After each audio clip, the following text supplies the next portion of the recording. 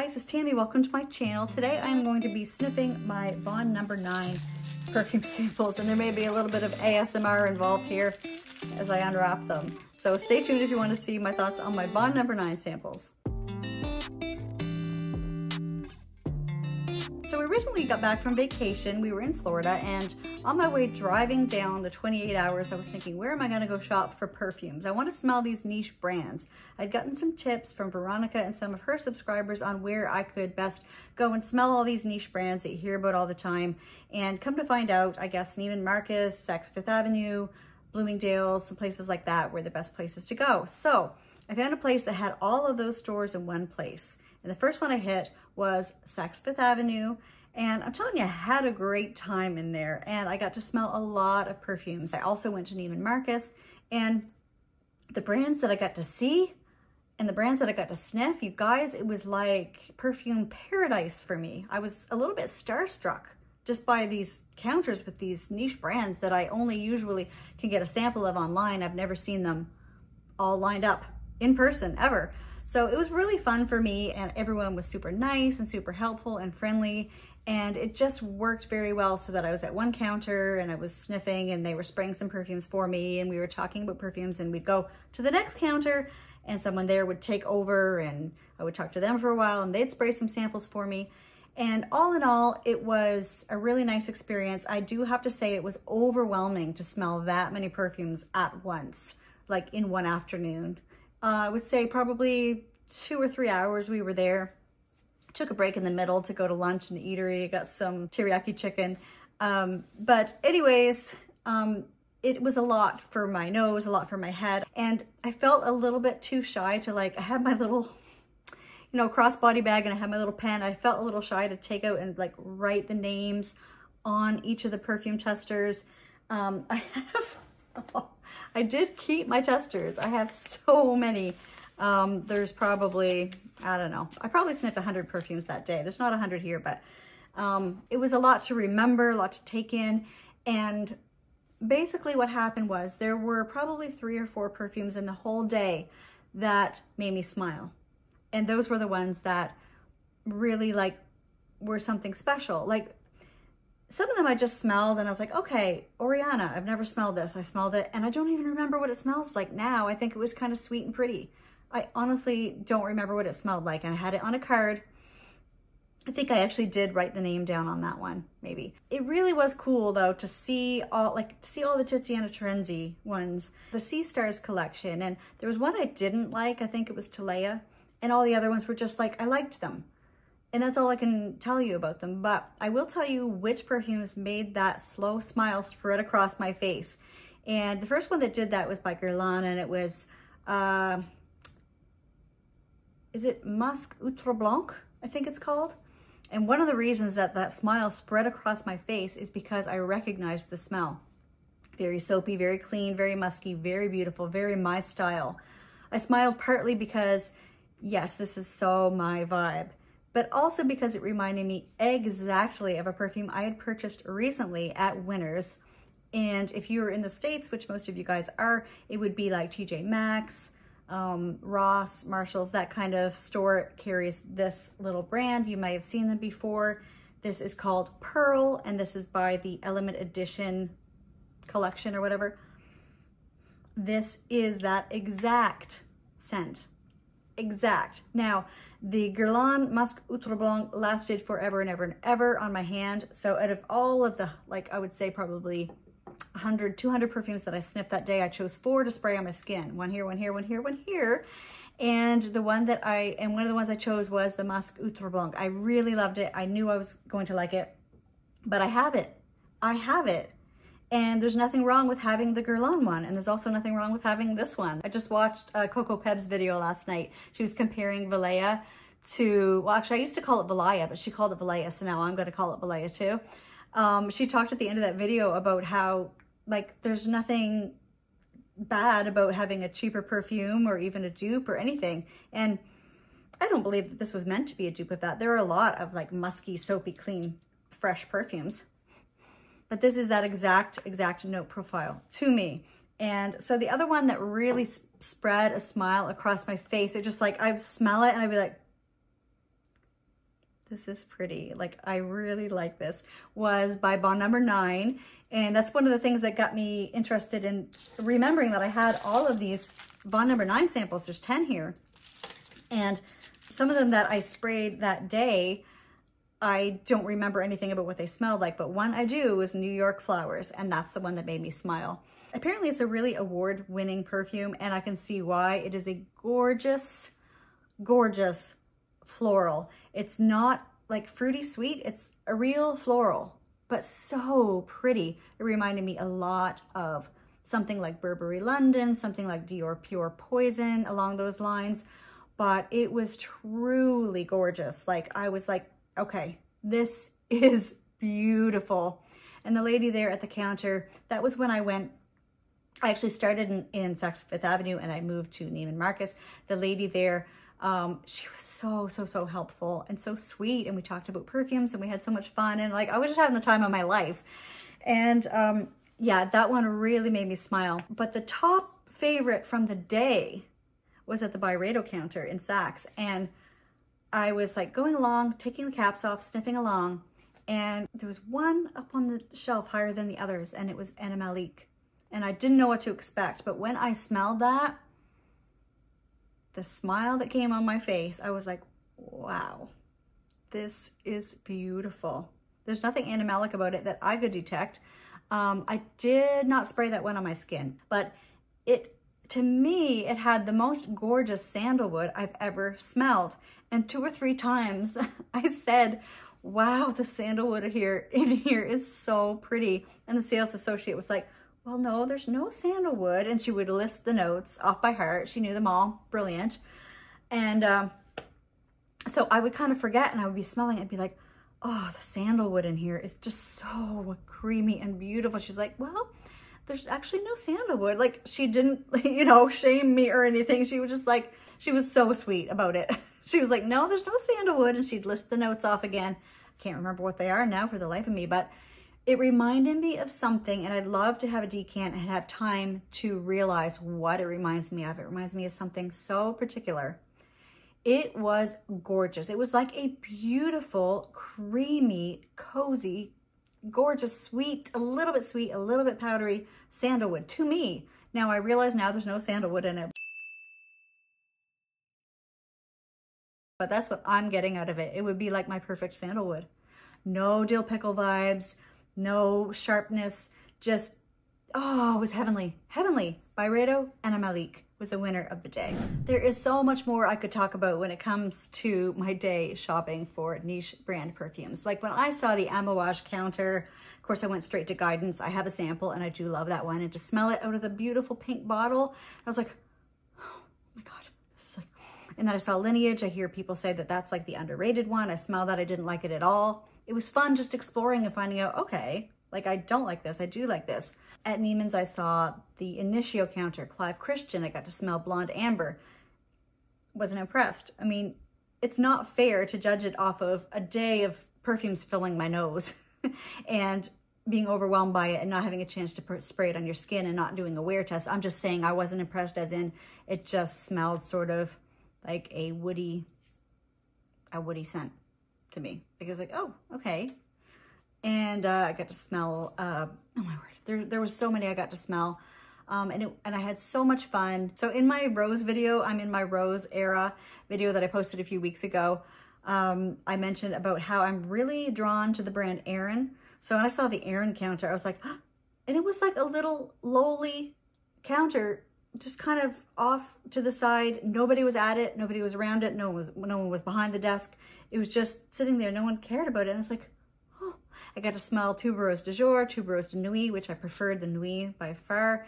Uh, I got to smell the Ambrette one, which was one of the ones I chose to spray on my skin. Unfortunately, I couldn't smell that one more than half an hour after I sprayed it, and all the other ones were really strong. The Guerlain Musk one was really strong. I'm acting like I can still smell it now, two weeks later. um, what else did I spray on my skin? Um, oh, I asked the girl to spray Chinatown by Bond Number 9 on, on my hand, on this hand. And she sprayed it so far away and so lightly that it just kind of landed on these three fingers very lightly. I couldn't tell a thing about it. But then I realized that I have the sample at home. This is awesome news. So now I can actually smell it Bond number nine was one of the brands that day that really caught my attention and that I was like, okay, there's something, I mean, I do own a Bond number nine. I own New York Nights. Um, but uh, I got to smell Nolita. I got to smell Greenwich Village and Nomad. And I was just like, I was in heaven. Oh, I have those ones.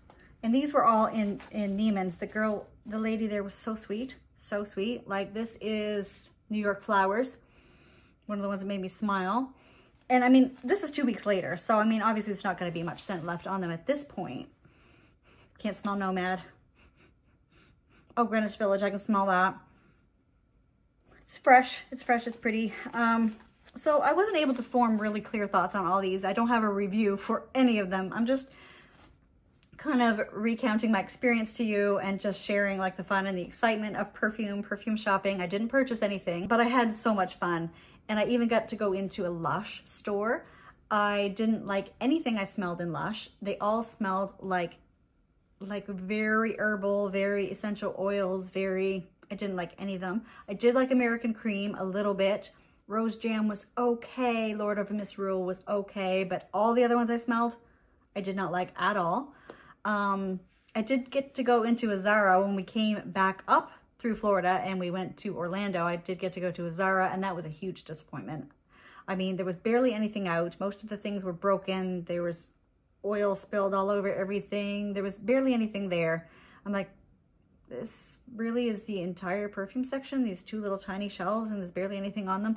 So I was disappointed because there's so many that I want to smell from Zara, but I think that the best way to sample those is to buy samples online, probably for that brand. But anyways, I should get to the Bond number nine sniffing, shouldn't I? That's kind of the point of the video, but I really have been wanting to talk about my experience shopping for perfumes.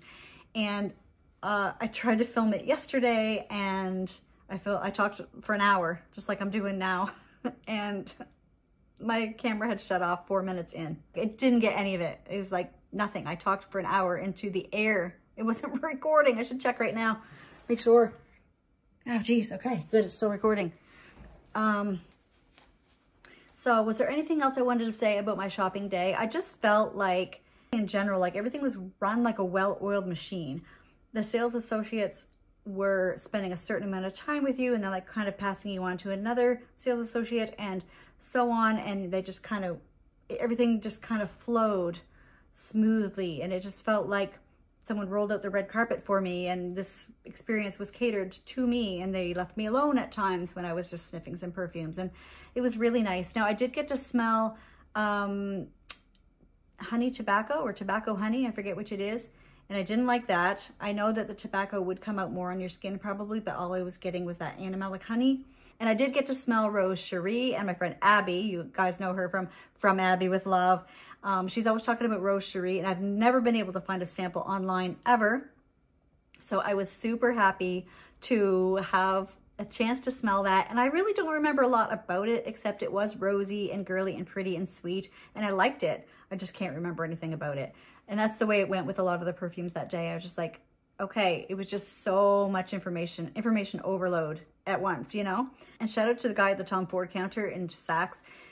He complimented me on my tattoo, which was so sweet. I felt so flattered. He was like, I really appreciate like the shading and the gradation of your tattoo. And I was like, I was like that, I, like it really flattered me. I was really feeling like so honored that he would say that. He was had so many tattoos and he, they were gorgeous on him. I think his name was Ramon. Anyway, I loved him. He was really sweet. And he sprayed Vanilla Sex on a tester strip for me and I'd already smelled it, but I was like, well, it won't hurt to smell it again. It won't hurt to smell anything again. That's what I'm here for. And, you know, it's not one of my favorites. I don't really like it. It's a little too almond extracty for me, but um, you know, it was okay. So here we go. Let's get to the bond number nine samples, okay? Let's start with the first one I picked up, which was Chelsea Flowers. Okay, so into Saks, I remember asking to smell Chelsea Flowers, and they did spray it on a strip for me. And, oh my gosh, how am I going to get this open? Oh, yeah. And for the life of me, I cannot remember anything about what it smelled like. Now, these samples I've had for a while, so I have notes on them. What were my original notes on Chelsea Flowers? Okay, I'm gonna read this off my iPad. Um, sweet powdery floral but warm and full-bodied. Keeps getting sharper and then goes a bit air freshener. And it ends just as a faded floral. Okay, so there we go. Chelsea flowers. And I'm gonna spray it on the small end of the strip so that it will dry faster because this is just gonna be kind of a quick sniff thing. And I'm gonna, dusty, very musty dusty. Very musty musky. Probably a floral. Now, I don't have the notes in front of me. Should I, you guys? No, I'm not going to. I'm just going to give you my first impressions. I don't think this is the type of floral that would be up my alley. A little bit of a musky, musty floral. I will smell it later after it dries down. I'll go back little bit more. Do you guys like this like ASMR? Roll it back up. Okay, so now let's do scent of peace for her. Guys, I have, okay, I remember really liking this one. Let me see what my notes were. Basically an orange fluffy musk like JLo Miami Glow or Initio Musk Therapy. The vibe of clean skin or radiant nectar, just okay. So, see. Oh, it's really pretty. Yeah. It's a pretty, like, creamy, fluffy, citrusy musk. Good kind of musk, not like the Chelsea Flowers dusty musk. mm, no, that one's not really for me. Yeah, I really like this one. This kind of reminds you of Montblanc Signature. Hmm. Yeah, I really like that. I don't know who couldn't like the scent of peace. That is really pretty. And, you know, I'm all about peace. I love feeling at peace. That's my thing.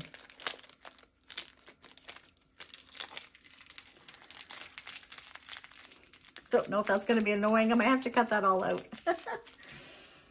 all right. Now, what have I got? Let's do, okay, so I'm almost out of my sample of B9. I have sprayed this one the most often. I really enjoyed this. There is something, okay, look how much is left. Barely any is left. Can you see that? Can you see how much is left in my sample of B9? I always remember Giselle talking about this and she absolutely loved it. And that's why I got the sample in the first place. Um, B9, okay, this is cool. That's what I wrote. Okay, this is cool. Sexy, sweet, spicy, warm amber. Goes more citrusy, sharp, orange blossom. It's lovely, but it leans a bit. Love, don't be shy. Okay, so I think this one is the least linear. Like, I think it just... Oh my God, that came out in a stream. Mmm, yeah. This is cool. This is sexy. This is warm and ambery. Mmm. I do get the orange blossom in it, but it's a warm, sweet, like it's a sweeter, darker, richer, amberier orange blossom. Oh yeah, I remember really like this one. If I remember, it does something a little bit weird on my skin after a while. Yeah, I really like B9. I feel like it's often on sale on um, fragrancebuy.ca. And I, I don't know. I feel like I would buy it. Maybe. Maybe. okay, I can't wait anymore. I want to try Chinatown. So you guys know, you hear Veronica talking about this a lot. And like, I just want to share in her joy and her love of this perfume. I hope I like it. Chinatown. Get it written on my strip here. Okay, let's go.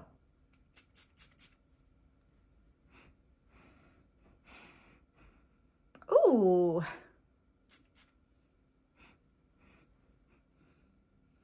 That's pretty. It's definitely floral. I wonder what's in here. I'm getting some sort of a vanilla though. Mmm, it's a pretty sweet floral with vanilla. But if I get anything, I've got perfumes all over me, but I want to spray it on my skin and I'll come back to it and revisit in a minute. As you know, perfume can be so different on your skin than on paper. Oh, it's fresh. Okay, I'm to revisit Chinatown in a minute. Let's wrap it up. I like keeping them in these little candy wrappers.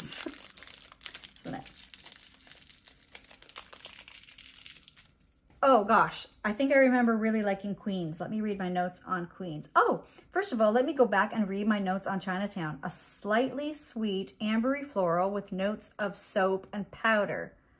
Not the same, but vibes like Hugo Boss Deep Red. Oh, really? Not yet. Maybe further into the dry down. I'm getting quite a bit of citrus right now, I feel. Okay, I'm to go back to that. I want to go to Queens. I want to go to Queens. Opens very interesting. Black licorice and gingerbread, question mark? Okay, I'm not to read any further. Let me just see what I get from Queens. Ooh. Oh my God, what is that? Oh my God. I mean, oh my gosh. Sorry, I don't want to offend anybody. Oh my goodness.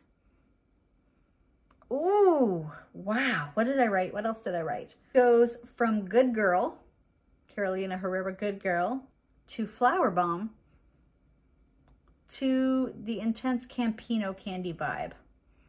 You know Campino candies, a lot of times I will describe perfumes using that reference, Campino candies, because they have that like creamy sweetness, creamy fruity sweetness. At the end, it leans a little like Dior Addict slash Armani Code. Very nice. I love this. This is so interesting and different and cool. Sexy and sweet, warm.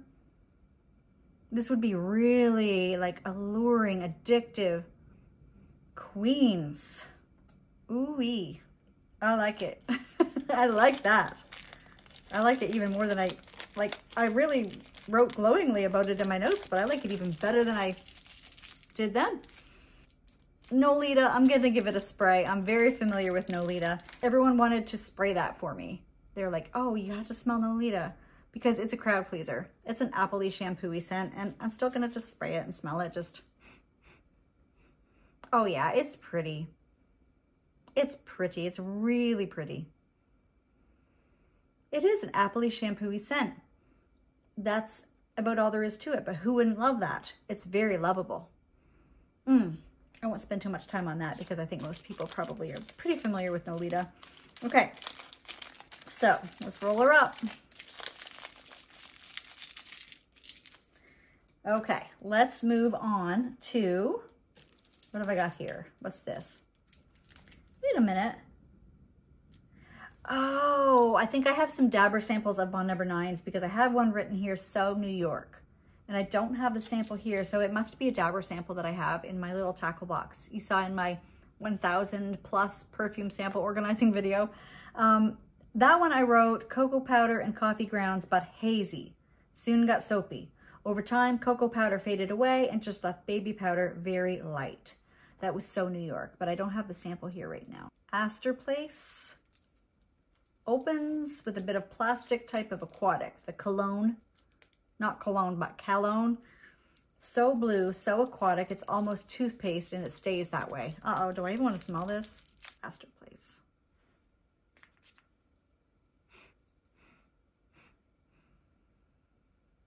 Oh, it's actually not that bad. Definitely minty. minty blue, fresh, I think if this worked on your skin chemistry, this could be a really nice fresh one for summer. But I'm not going to spend too much time on that one. So what I have left here is Central Park West and Central Park South. So we're going to start with Central Park West. And I'll never forget when I first sprayed this one. I'll never forget it. It was like someone had poured peach juice all over my face. Like it was the peach juice that comes, not real peach juice, not juice squeezed from a peach, but the plastic jugs of peach juice. So let's see if I still got that. Central Park West, here we go.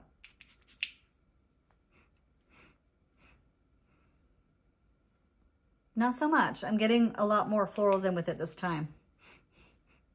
I can see how I could have thought it smells like that peach juice in the plastic jugs. But I'm not getting that really this time, not, not predominantly. I'm getting more of a greenness and a floral. What else had I written about it? Peach juice with strong florals with green stems and patchouli and citronella. Fades steadily over time and later it's wintergreen like pink peppermints. I can, I can understand that too. It hasn't even dried down yet, but it's fresh. It's a little bit sweet. It's a little bit peachy. It's floral. It's interesting. I think it would be worth a uh, full wear test. So Central Park West, that was.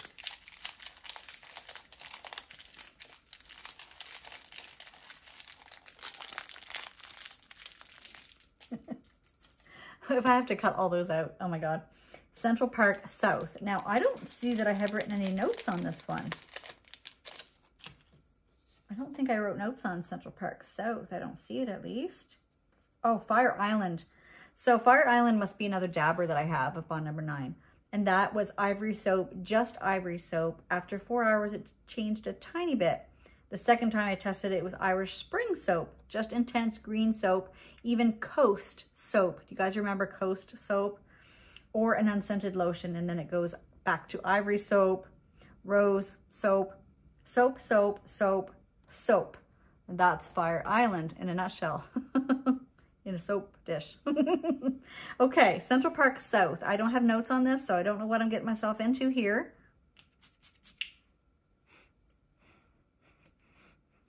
What is that? Let me see. It's definitely like a clean floral, a little bit, a little tiny bit sweet, but woody.